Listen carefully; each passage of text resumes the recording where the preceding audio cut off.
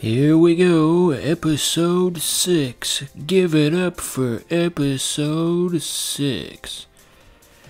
To tell you the truth, I'm kind of running out of things to say about old Sonic the Hedgehog. Um, I read in the news that we're supposed to get the, the trailer for the, the Sonic movie later today at the time of recording. That, that might be a little outdated by the time this episode gets posted, but anyway, yeah, the second Sonic movie. I, I don't uh, think I'm gonna see it.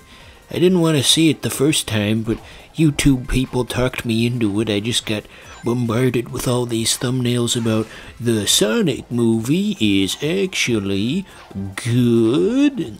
And then I saw it, and it's it's basically just your standard kids movie. Basically just Hop, except they turned him blue. It's not good at all. YouTube lied to me. So anyway, yeah, I'm not gonna see the second one. Maybe if it comes out on some streaming service someday. I'm not deliberately trying to land in those spikes. I was trying to get to the, the area in the back, but oh well, that's for people with talent. Sonic Colors talent, no less. That, that, that mechanic works very strangely. I, I don't think I did that right. But it's okay. Life goes on. The sun's still gonna come up tomorrow. Yeah, look at that. I get the special thingy. What do those do, by the way? I've never been able to collect all of them in a single level, so I don't... I don't rightly know. Maybe, maybe one of you enlightened YouTube commenters can fill me in on that. You know how much I look forward to being told what to do by people on the internet. Gosh, you ever like actually like try to dissect a social media post and you you realize that maybe like 60% of the people in the comments don't even understand what the point of the post is? Like I saw this thing the other day, it was a um, there was unfortunately there was a kid that died and they had like a special Fortnite coffin for him. So somebody posted the picture of it to Twitter and it just said Fortnite coffin. It feels like the people in the comments, like I said, don't really understand what the point of this post is. They're just arguing about some people say that Fortnite is cringe, but I say that it's not cringe. And that, that, that is not, that has very little to do with what's being said. I feel like they need to put some kind of barrier on, like, the ability to make new posts on social media where there's like a brief like quiz you have to take first that that makes sure you actually understand what's going on before you you jump in. Yeah, aesthetically, this one looks pretty nice, huh? We got that same uh, culling Rainbow Road. You, you saw it there in the back. And this part's cool. They've got a, a trampoline that moves. Regardless of what you do, you gotta keep up with it. As Homer Simpson once famously said, Trampoline, trampoline. That was uh, that was from Golden Age Simpsons. Good times. Gosh, I, I'm still stuck on that that Fortnite coffin thing. I mean, how stupid do you have to be to look at something as horrible as that and, and misinterpret it as like a, a statement on the quality of, of a video game? Yep, you got it, buddy. This picture of a coffin is definitely oh, an abstract way of saying that they think the game is cringe. You got it. You have correctly identified the situation. Congratulations. I really need to just take a long break from social media. This is getting to be quite draining. So, anywho, let's try to stay on task here. So, the big complaint about this level is that you really can't go any faster than the trampoline goes. I mean, obviously, just by looking at it, there's no way to exceed its speed, because otherwise you would plummet to your doom, as it were. And so, for speedrunners and people trying to get an S rank, that can be quite frustrating because you're being anchored down by a slow moving object. For those of you uh, comparing how this run went to uh, a certain other channel's run, I think it's become quite obvious that this Let's Play is haunted. It's haunted by the ghost of Chuggaaconroy.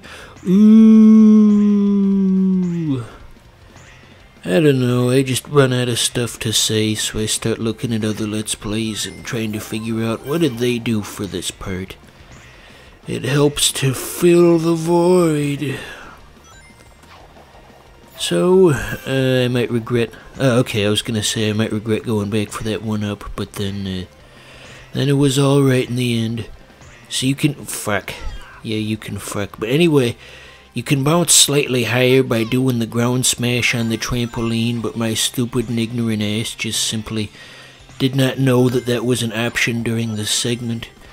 And I would imagine that was very that's going to be very frustrating for anybody who's still watching this.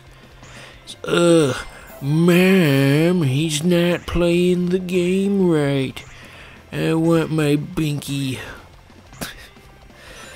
Uh, let's play fans are horrible people, like I'm always saying. Yep, yep, Baroni. Okay, this run's going a bit better.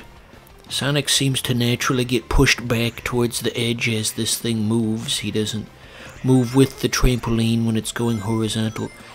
Let's see if I can get that. Nope. Nope, that heavy. How are we gonna get our cool uh, avatars for our Sonic Colors profile now if we can't collect the sun tokens. Okay, let's just cut ahead for the sake of having a watchable episode. I'm sure you'll appreciate that. Well edited content. Where do you think Sega got the, the noise, or the sound effect rather, for the Sonic trampolines? Oh, this is gonna be a tight jump. Yeah. Anyway, where do you think they got that sound effect? I mean, uh, I think it originated in the Dreamcast era, so it's not like something they just got off like a, a pre-made setting on a MIDI keyboard or anything like that. Not something from the, the Sega Genesis Gems sound font. Yeah, that ain't exactly entry-level knowledge, is it? The Gems sound font. Yeah, I'm not overly surprised that we uh, got a D rank on that one.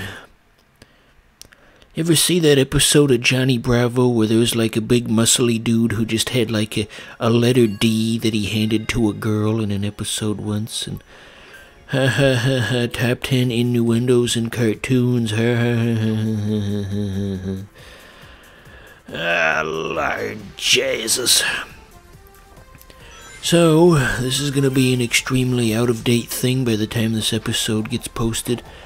When my lazy ass finally gets done recording this. But anyway, there's been a, a recent announcement in uh, Smelly Gamer News. It's uh, Sony is going to try to have a, a competitor to Game Pass, and they're going to put all the retro titles on there. And, and honestly, I don't know if I would buy into something like that. I mean, for anybody who knows how to use a computer, that there's really no reason to to pay money for PS1 and PS2 stuff. I mean, if you're just a total fucking idiot like Scott the Woz and you're using Dolphin with a keyboard, then in that case, yeah, I would understand why you'd want to pay money for something like that. But for the rest of us, I don't really think that proposition has any value.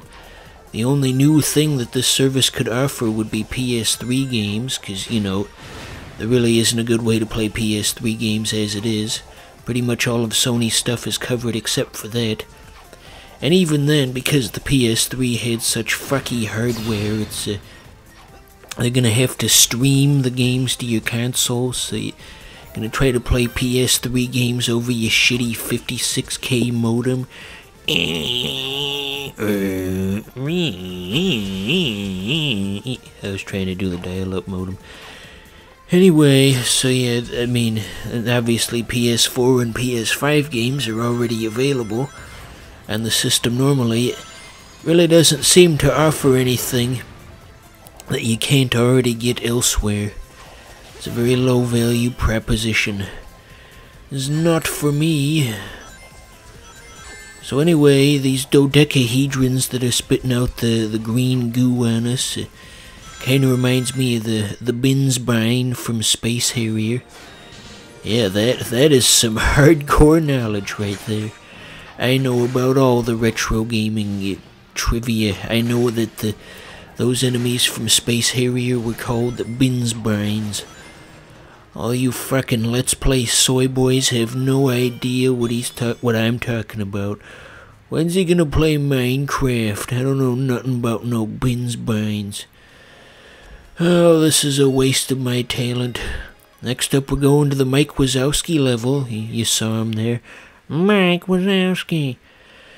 Okay, I got enough footage for three more episodes of Sonic Colors, and then uh, we'll just call it from there. Hopefully, it doesn't take me the rest of 2021 to get to that point, but we'll see.